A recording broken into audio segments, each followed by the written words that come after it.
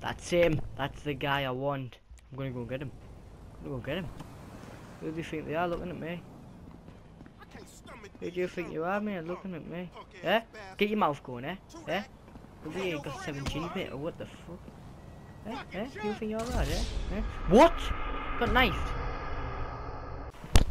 Oh, your age budget budget 13 and for this glitch what you will need is a boat where if you jump off you're going to jump off the back. So basically this is the best location to do it. Um, just reverse where I do and jump off where I do like the timing needs to be perfect. So once you hit like in the middle of them two you basically just want to run, jump and you should jump through the wall.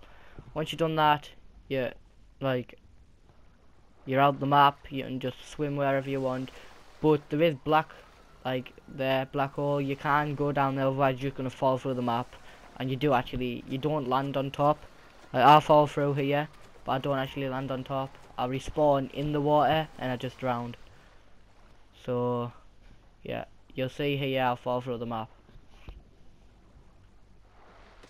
so as you see I fell and I've just pulled out my parachute as this is the location for the next glitch, uh, you need a motorbike to do it. I do actually end up failing it the first time because I don't get enough speed.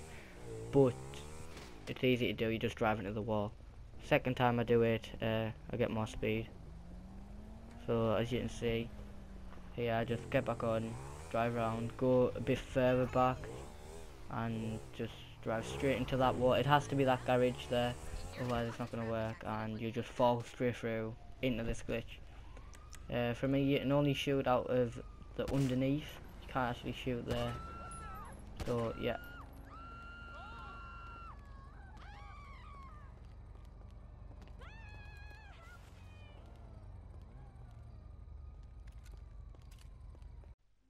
Now the final glitch, uh, what you want to do, you want to be in first person, have a pistol, run, and jump on the second light ledge.